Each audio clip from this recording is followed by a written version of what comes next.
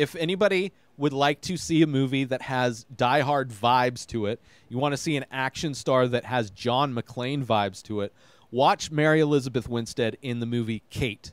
It is an action movie. She is the lead, and there she is very much could easily, and I would love to see that if they wanted to keep this this franchise going, to have her take over this franchise because she is a badass in that movie, Kate.